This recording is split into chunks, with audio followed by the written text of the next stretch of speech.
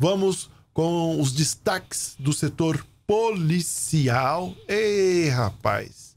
O SIG, é, aqueles meninos da viatura preta que tem uma caveira, pois é, prendeu dois homens que revezavam na venda e na entrega de drogas aqui em Três Lagoas. Alfredo Neto tem os detalhes desta notícia. Bom dia novamente. Olá, bom dia novamente, Israel. Bom dia, Antônio Luiz. Bom dia a todos. Israel, ontem o SIG, setor de investigações gerais, após receber denúncias repassadas ao telefone do SIG também da Polícia Militar, que repassou para o SIG as informações a qual há esse trabalho conjunto de troca de informações, passou a investigar um local aonde estaria servindo como boca de fumo na rua Duque de Caxias, lá no bairro Paranapungá.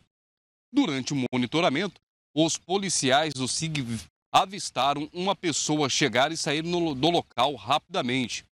Uma outra viatura que também fazia campana fez a abordagem desse homem alguns metros logo após aonde, durante uma revista pessoal, foi encontrada ali uma porção de um grama de crack e o homem disse que seria usuário e teria adquirido a, o entorpecente em uma boca de fumo. Os policiais, então, foram até a residência onde estaria servindo como essa boca de fumo e encontraram uma pessoa que estava na varanda, varanda essa que estava com o portão aberto, o homem chamado para conversar.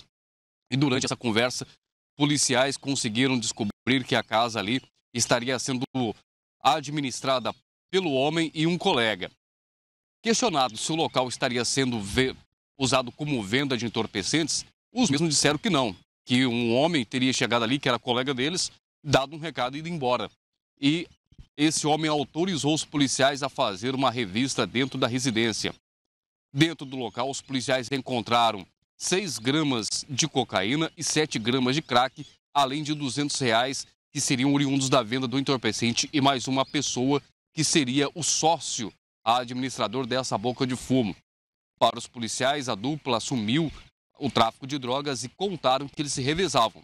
Um atendia, o outro fazia entregas. E para facilitar a venda e aumentar os lucros, nem as embalagens plásticas estariam utilizando mais para fornecer o entorpecente para os usuários.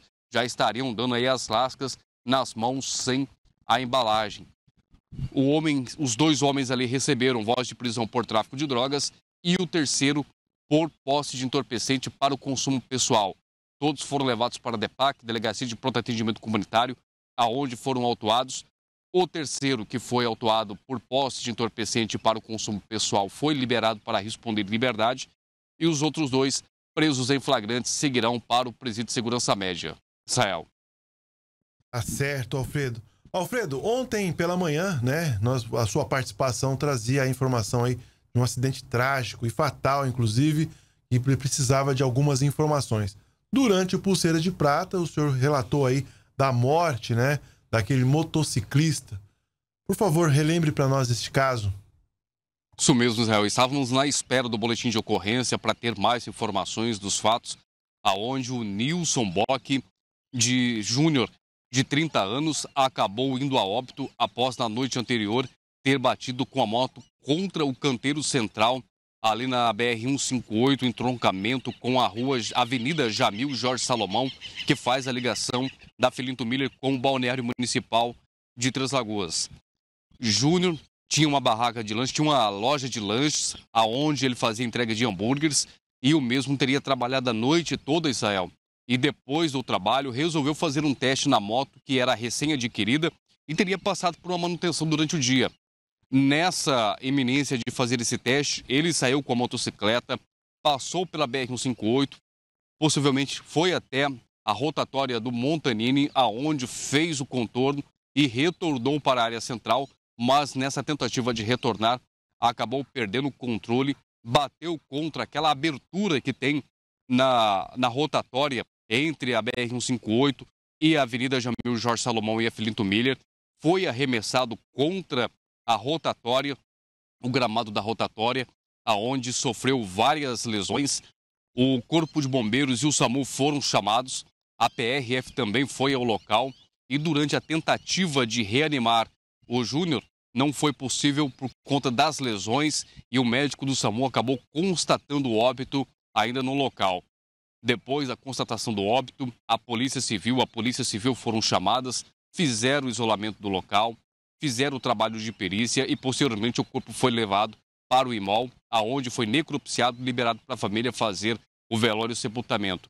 O inquérito policial já foi aberto, vai ser investigado pela primeira delegacia de polícia civil.